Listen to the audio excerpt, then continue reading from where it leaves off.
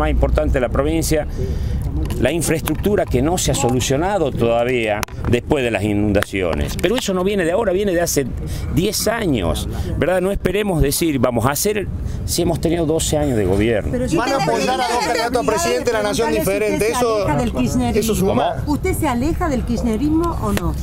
Mire, yo soy peronista, siempre fui peronista y yo no reniego de mi pasado, nunca voy a renegar y siempre digo que este, el kirchnerismo le dio una impronta importante a, la Argentina, pero la historia, este, bueno, nosotros tenemos que pensar hoy por Tucumán.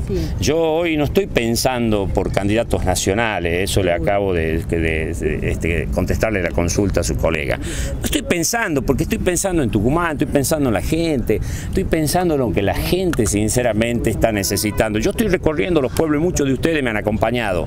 He ido al interior, ¿verdad? Es decir, si nosotros vemos, vemos problemas de infraestructuras muy graves, problemas sociales, problemas de salud.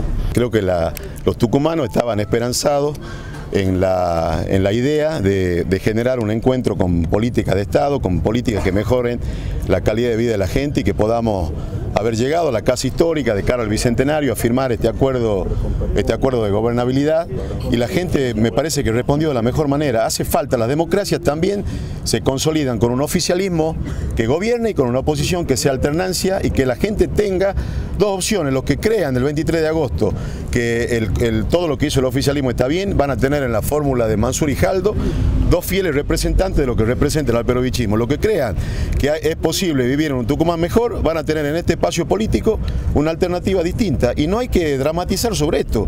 Me parece que lo que dramatizan son los que han utilizado el Estado como parte de su propio patrimonio y están, están por perder los privilegios. El poder no es para darle privilegios a los dirigentes, el poder es para transformar la realidad de la gente. Nosotros pretendemos que los próximos años los que ganen sean todos los tucumanos, los que nos votan, los que no nos votan, los que piensan como nosotros, los que piensan distinto, porque de eso se trata la democracia, de eso se trata el pluralismo y de eso se trata aprender a vivir con los consensos y con los disensos. Ahora el puesto de primero y segundo... ¿Ustedes en el poder? Lleguemos al 23 de agosto primero. Ahora, ¿de qué va a depender el primer y segundo puesto para los dos?